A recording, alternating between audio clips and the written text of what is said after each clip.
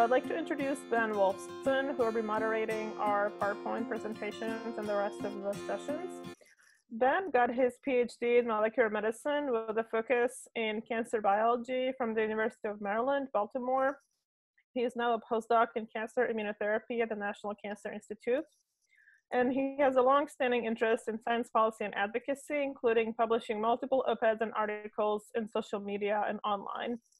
Ben is currently also an associate editor at the Journal of Science Policy and Governance and also runs a blog at the NIH Science Policy Discussion Group, which is called Science Policy for All, and I'll share this um, in the chat. Ben? Great, thanks for that introduction. Um, I just want to mention that, like Adriana said, I'm a member of JSPG, but I've seen some of the questions floating in about how to get involved you know, when I was in grad school, my university didn't have a science policy group. And so my friends and I started a science policy group. And we were able to meet with our representatives just by cold emailing them and setting up um, setting up meetings. And so it's definitely accessible to you. Uh, you just kind of have to reach for it. So with that, um, and with those great introductions, we're going to get to our panel and do a bit of a deeper dive into uh, the areas of expertise that we've got here. So we're going to start with Sara Marriott. Sara is currently a PhD candidate at George Mason University, uh, researching small-scale fisheries in the Philippines. Prior to starting her PhD, she worked as an observer on pelagic long-line vessels as a contractor for NOAA.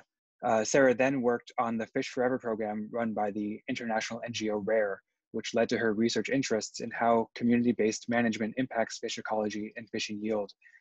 She was recently awarded a Boren Fellowship to support her research and is also a CSync Fellow working on incorporating social metrics, metrics into offshore uh, aquaculture siting in the Gulf of Mexico. I'm going to talk a little bit about my personal research since I'm currently um, studying and I'm a little bit removed from the active uh, policy making and involvement in uh, policy communication realm. Um, at least in the United States, uh, most of my research is in uh, based in the Philippines at the moment. So, with that, uh, we're gonna talk a little bit about stakeholder engagement in fishery research policy. And so, just to give a brief introduction of what fisheries are because not everybody might know that. I'm going to bring you guys through a problem that I personally work on. And so fisheries are, you know, just a um, defined by a fish, like uh, by a species or a gear type. So you can have a trawl fishery or like a shrimp fishery and it's a really an important industry because 59 million people work with it um, and so it supports a lot of livelihoods as well as it helps feed the the world.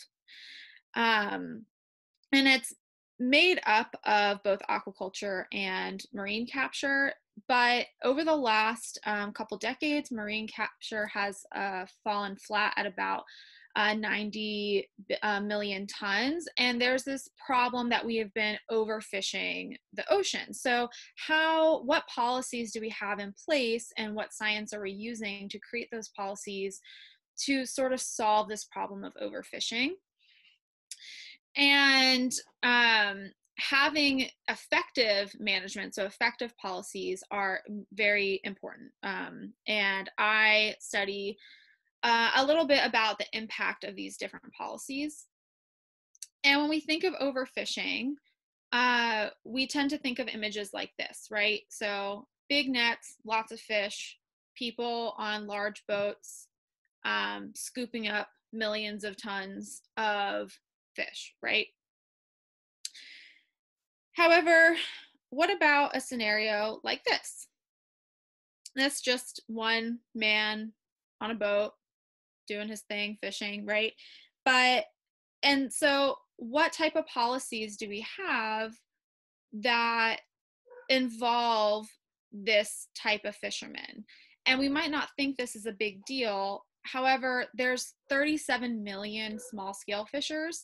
So when you scale up um, that one individual fisher, you then end up with this problem of overfishing.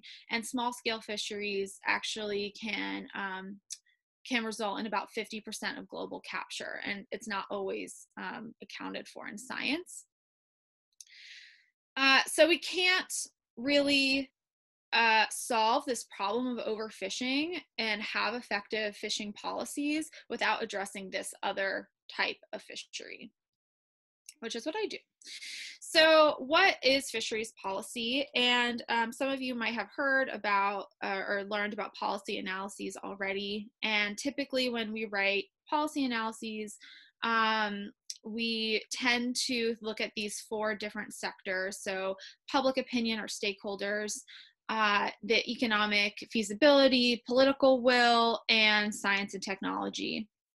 And we balance all of these different sectors and create this innovative solution and or a policy solution. And so my particular research really uh, centers around pulling stakeholder engagement and public opinion at the forefront of policy solutions. So, uh, making sure that the people uh, are wanting these solutions and are advocating for these solutions themselves. And so I encountered these different types of challenges.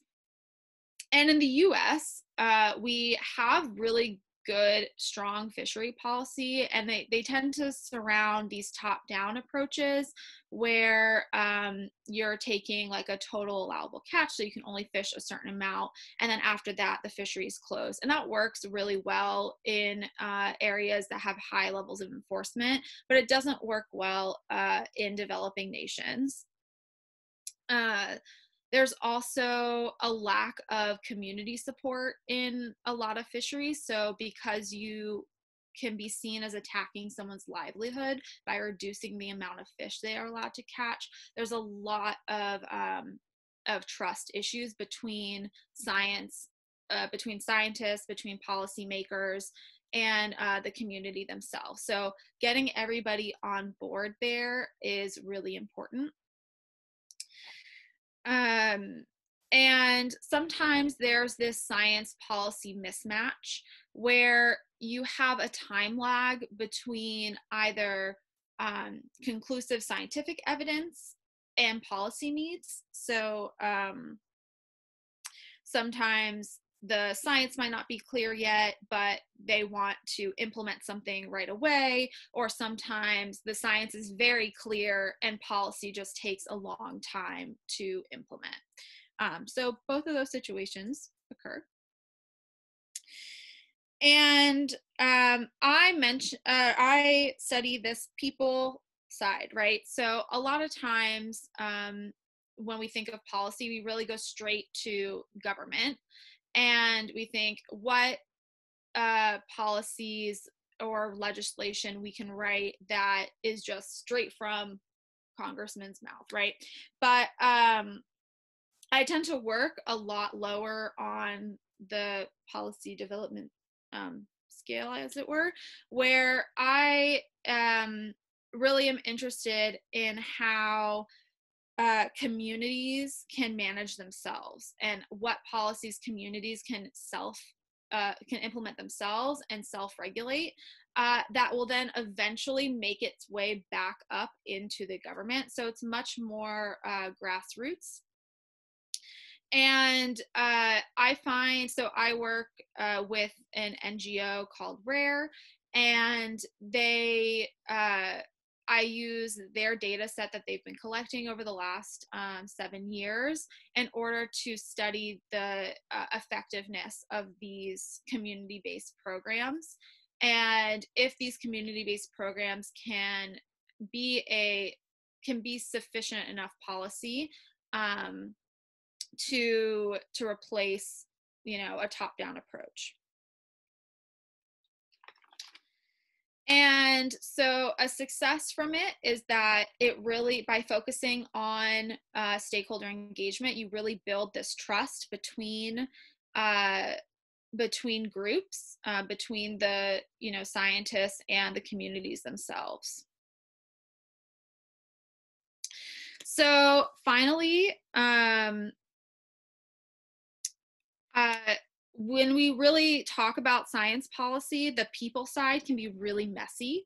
Uh, it's hard to quantify or determine the weight of the a weight the weight that a certain audience should have in the conversation.